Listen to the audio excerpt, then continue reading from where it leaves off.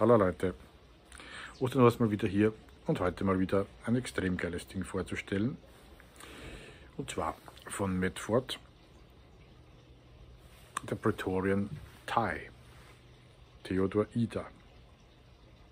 Und dieses Tie, ja, das beschreibt die Oberklasse bei Medford. Von den Dimensionen her absolute Dicke, absolute Massivität Dicker geht's nicht. Wir haben hier einen ja, Full-Size Praetorian, kann man sagen. Genauso wie der T, was ich eh schon Videos darüber gemacht habe. Auch Torturtests, könnt ihr mal auch schauen. Ich blende da mal so ein, wenn ich das schaffe. Gleiche Länge, wie man hier sieht. Wenn man es umdreht, man sieht Unterschiede in Sachen Clip. Das heißt, das ist der Thai-Clip, falls ihr mal sowas irgendwo seht oder kaufen wollt. Und das ist der T-Clip, da gibt es aber noch einen anderen, der schmäler ist. Sonst im Prinzip alles gleich. Also die Klinge haben wir auch hier, vielleicht ein guter Vergleich.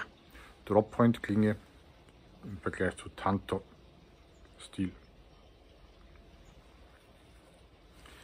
Ja, wenn wir das Ganze jetzt aber so drehen, das kommt auf der Kamera gar nicht so rüber, glaubt mir, was das für ein massives Viech ist, dieser Thai gegenüber dem normalen Praetorian T. Der wirkt da schon fast zierlich. Das ist jetzt im Prinzip mein, eines meiner kleinen Tragemesser dadurch. Aber gut, ich habe lieber die großen Dinger. Ja. Wir haben Klingendicke, nämlich hier von 7 mm. Im tun wir es nicht mit Kommastellen mal dumm. 7 mm und hier 5 mm, was auch schon sehr dick ist, aber 7 mm machen ordentlich was her. In Sachen Schnittfreudigkeit werden wir aber nachher gleich sehen. Bei beiden überhaupt kein Problem, da wir, wie zum Beispiel bei der Tanto-Klinge, hier einen Hohlschliff haben, wie man hier sieht. Und vorne beim Tanto bei der Spitze haben wir einen Flachschliff. Auf diese Weise viel Material an der Spitze, natürlich auch scharf, aber hier natürlich mit dem Hohlschliff noch bessere Slicing-Eigenschaften. Geiles Ding, der Tee auf jeden Fall. Ultra geiles Ding, der Thai auf jeden Fall. Hier beim Droppoint, nur dass ich das nochmal erwähne, geht dieser Hohlschliff durch bis ganz nach oben. Auf diese Weise natürlich extrem gute Slicing-Eigenschaften über die ganze Klinge verteilt. Ja, manche sagen immer, so ein dickes Messer, so eine dicke Klinge kann ich gar nicht schneiden. Also, also dann so. Hier mal ohne Widerstand Papier schneiden, aber das ist ja schon fast langweilig. Machen wir wieder meinen Papiertest. Also ich weiß nicht, ob ihr den mögt, den Papiertest, aber ich mache den bei Messern oft, wenn ich wissen will, ob die Klinge gute Slicing-Eigenschaften aufweist, also ins Material sich reinarbeitet. Da falle ich das Papier einfach so oft zusammen, wie ich es schaffe. Also, ist schon schön. Und dann so. Schauen wir, wie das reinfährt. Kein Widerstand. Mir gefällt das. Jo, vom Stahl her, falls das noch interessiert, hier der S35, das S, die S35 VN-Klinge.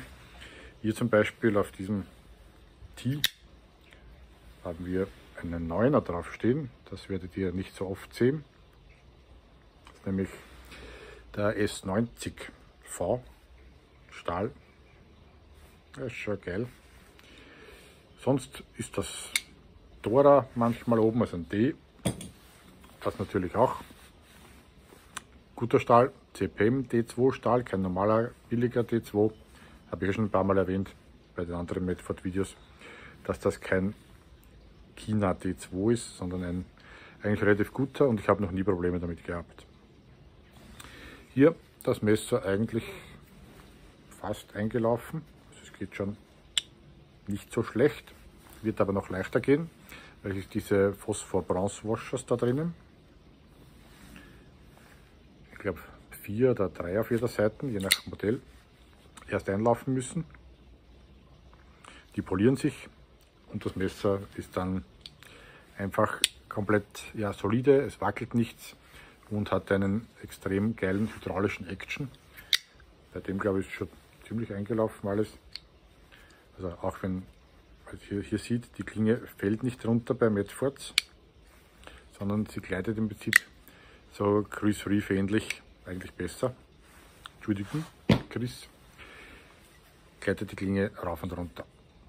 Weil sich das Ganze eben wirklich anpasst durch diese Break-In-Phase, die lästig ist für manche, weil das Messer einfach streng geht in der Break-In-Phase. Aber nach ein paar hundert Mal auf und zu machen, hast du den geilsten Action, den du mit einem Messer je gehabt hast. Geschmacksabhängig natürlich. Jo. Sonst bin ziemlich begeistert von dem Ding wieder mal. Aber sonst fällt mir nichts dazu ein. Dann, äh, hoppala, ah, geht ja. Ist noch ein bisschen schwergängig, aber macht ja nichts. Dann war es aus dem Haus mal wieder. Da abonnieren das ganze Zeugs. Wenn es wollt, wenn nicht, dann das ist nicht versäumt etwas. Dann sage ich bis zum nächsten Mal und ciao.